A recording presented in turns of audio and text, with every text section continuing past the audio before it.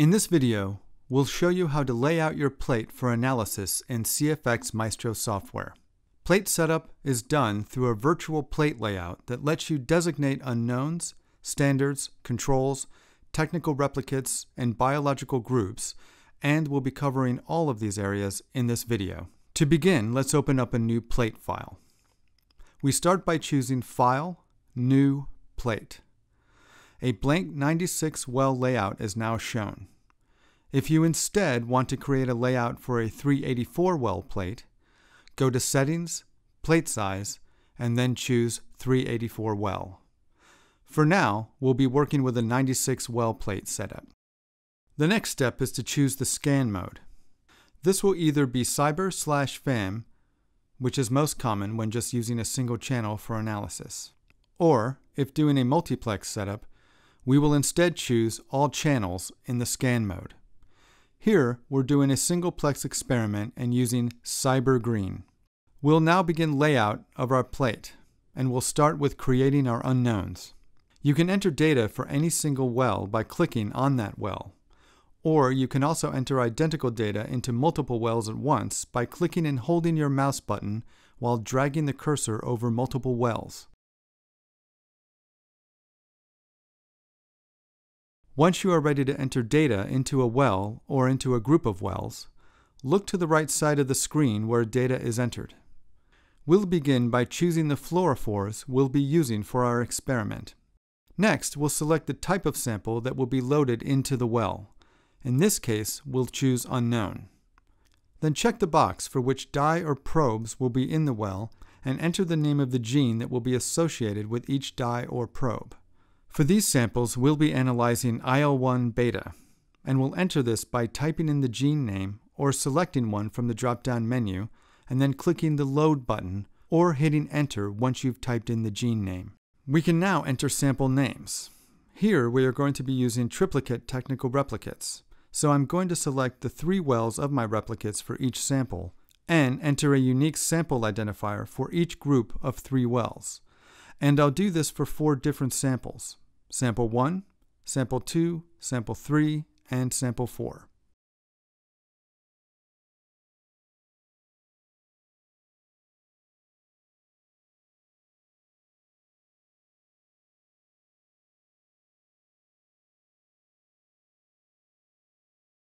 For now, we'll skip the biological group section and move on to designating technical replicates. To designate technical replicates of your sample, click and drag the mouse over your unknown samples. We will then click the Technical Replicates button. Here you can see that you can choose replicate size, starting replicate number, and whether the replicate should be horizontal or vertical. In this case, the replicate size is 3, and we want to start at replicate number 1. We have no other unknowns on our plate so far, and since these replicates are in a horizontal direction, we'll choose horizontal. One important thing to keep in mind here is that all technical replicates for a given unknown need to have exactly the same contents. So the fluorophores, selected genes, sample type, and sample name need to be identical. Once we are confident that the well types are the same, we just click Apply. We can check to make sure we did this correctly by clicking the Show Technical Replicates button. All identical replicates are highlighted in the same color to make visual identification easy. Let's now explore how to create a standard curve. Our curve will be an 8-point serial dilution with two technical replicates for each concentration. First, click and highlight all wells which will make up the standard curve. Then, choose Sample Type Standard and click the button for the fluorophore and gene for the curve. In this case, we'll again be using IL-1 beta, which is now found in our drop-down menu since we added it to our unknowns. Next, we need to designate these as technical replicates. So click the Technical Replicates button, choose Replicate Size 2, horizontal for the direction, and click Apply. If at any point you make a mistake, you can click the Undo button to undo your last action. There's also a redo button as well. Once we have designated the replicates for the wells, then it's easy to create a serial dilution. Just click on the dilution series box and a panel will open where we can input our starting concentration, which replicate numbers the dilution we begin and end on, our dilution factor, and whether the concentrations are increasing or decreasing. Here, we'll start with a concentration of 10 to the 6th units. CFX Maestro automatically detects that our replicates go from standard 1 to standard 8, so this data is pre-populated. The default dilution factor is 10, and we'll be sure to click the decreasing button, as this standard curve will be decreasing in concentration. Once we click apply, our standard curve is created. One important note, the automatic dilution series function won't work unless we have at least two technical replicates for each point on the standard series designated. This is to ensure that best practices in qPCR experiment design are used. You should always have at least two replicates for every point on your standard curve. Let's take a brief look at creating controls. Creating a control is very similar to creating an unknown. Click on a well then in the sample type dropdown, choose your control type. Here, we'll choose No Template Control, or NTC. Next, choose the gene for this NTC. Again, we'll choose IL-1 beta, and we're done. If you wanted to create replicates, you'd do so in the same way that we created replicates for unknowns. Finally, let's explore how to create biological groups. Biological groups provide more flexibility for analysis than just samples alone.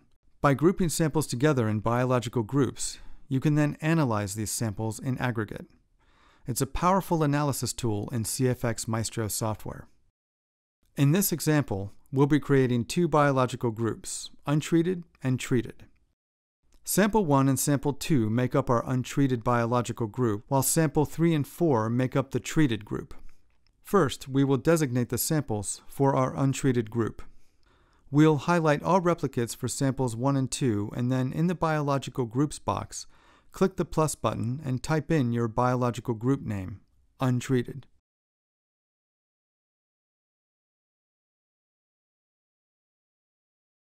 Then click load or hit enter.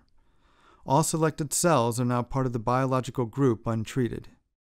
We'll do this again for sample 3 and sample 4, and then we'll label these as treated.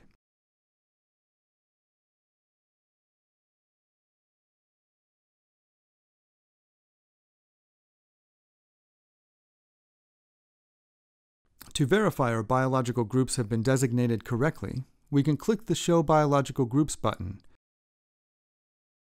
And as with technical replicates, all wells that are part of the same group are highlighted in the same color. We're now done with plate layout and now have the option to save this plate layout for later use. Here we will click File, then Save and name our plate. Let's call it Example Plate.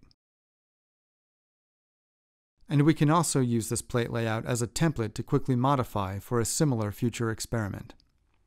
As an added tip, it's worth noting one of the nice things about CFX Maestro software is that you can perform the setup and layout of your plate in the software at any time before, during, or even after your run.